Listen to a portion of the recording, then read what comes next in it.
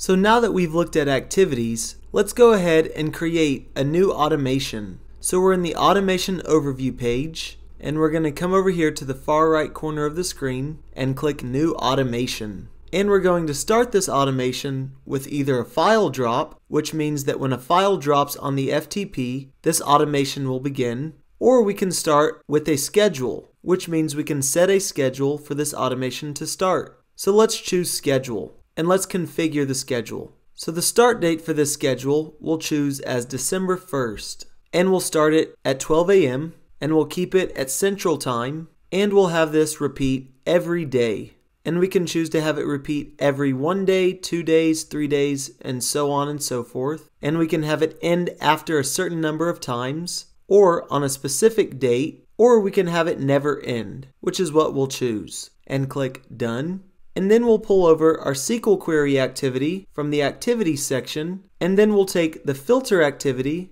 and put it onto step two. And then we'll choose our SQL query, and we'll choose our demo query. If we don't have a query, we can click create new query activity right here to create a new SQL query. But since we have our query here, we can just click done. And for our filter, we'll click choose.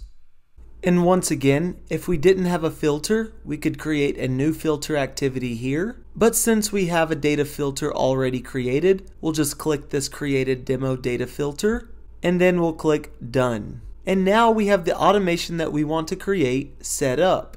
So we'll come over here and click save and then this will prompt us to create a name, a description, external key, and a location for the automation. So I'm going to name this demo automation and then click Save. And now that the automation has been saved, it stays in paused mode until we put it into active mode. And once we put it into active mode, this will repeat every day starting December 1st at 12 a.m., never ending, and in the time zone of Central Time. So let's go ahead and activate it. Let's click Active, and then we'll get this prompt by clicking Activate. We're turning on the following schedule. So we'll click Activate, and now the automation is successfully activated.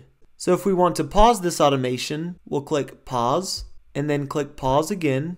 And if we want to test our automation, we can come up here to click run once and we can run specific steps in the automation. Or we could choose to select all activities and all activities would run in the automation. And we'd come over here and click run. And that's how you create an automation in Automation Studio.